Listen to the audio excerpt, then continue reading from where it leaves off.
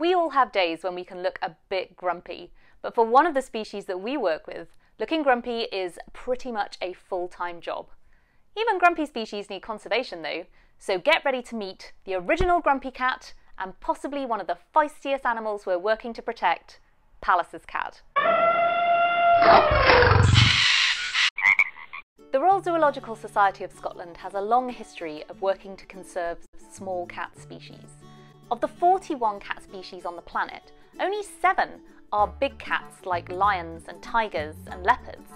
The other 34 are small cats that you may never have heard of, like sand cats and jaguarundis, and the species that we'll be looking at today, Pallas's cat. Small cats might not be as famous as their larger cousins, but they are just as interesting, and Pallas's cats are a perfect example of that. So let's take a closer look and find out what makes these little known fluffy felines quite so special. Pallas's cats might look chunky, but they're actually the same size as domestic cats.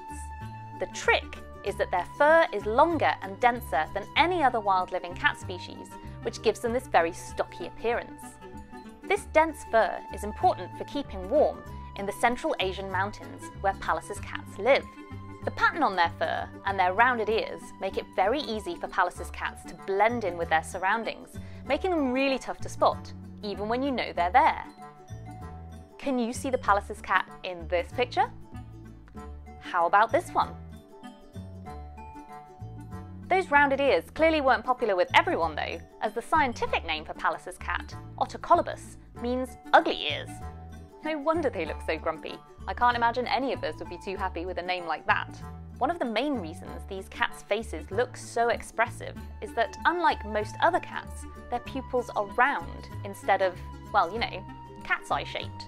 So, now we're a bit more familiar with what Pallas's cats are, here's David Barclay, our conservation manager and all-round catman, with some more information on what makes these felines so important. The Pallas's cat is an amazing small cat species.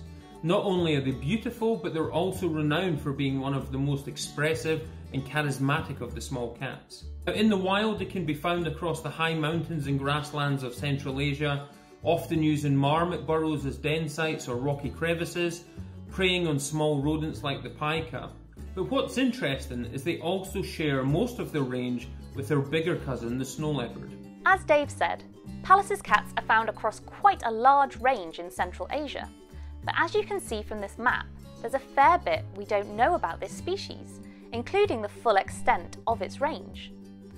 At least some of the information we have on where these cats occur comes from camera traps that have been set out for their much more famous snow leopard cousins. The fact that there's so much we don't know about Pallas's cats is part of what makes conserving them so tricky. We do know that their numbers are declining and that they're being negatively affected by habitat loss, attack by domestic dogs, and other forms of human persecution but devising a strategy to help protect them is really difficult without much data to go on. Unfortunately, like many other small cats, the Pallas's cat has historically been lacking in conservation action, awareness, education and long-term support. And this is the main reason as to why in 2016 the Royal Zoological Society of Scotland partnered with Nordens Ark of Sweden, the Snow Leopard Trust and Fondation Segre to establish the first global conservation project for the species, the Pallas's Cat International Conservation Alliance. Here's Emma Nygren from one of our partner zoos, Nordens Ark, to explain more about this alliance, called PICA for short. PICA is the first and only project dedicated to Pallas cat conservation on a global scale. Our main objectives are focused on capacity building, raising awareness for the species, facilitating collaboration and implementing global conservation actions. We are supporting field researchers across range countries by providing funding, resources and survey techniques. This support promotes conservation actions in the field where it matters the most. PICA has also developed education material translated into multiple languages to increase awareness of the species. As with many of the other conservation projects that RZSS is involved with, Collaboration across countries and organisations has been fundamental to the success of the PICA initiative.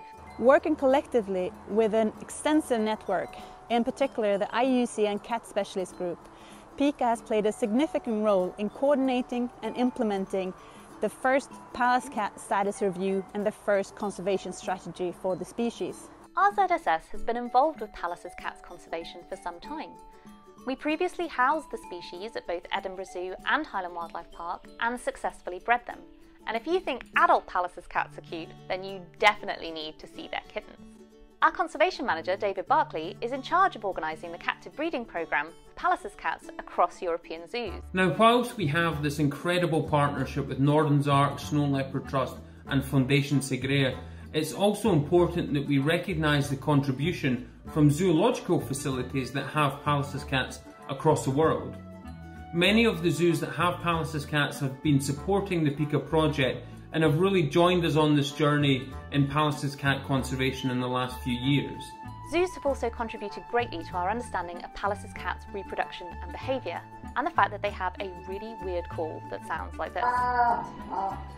Ah. Zoos have also raised a lot of awareness about this species, and of course, they contribute financially.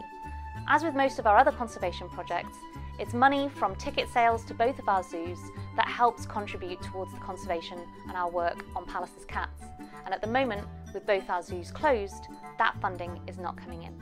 But you can still help save the animals that you love in the wild by following the link that you can see here or above or below this video and giving whatever you can to help save threatened species via our conservation work.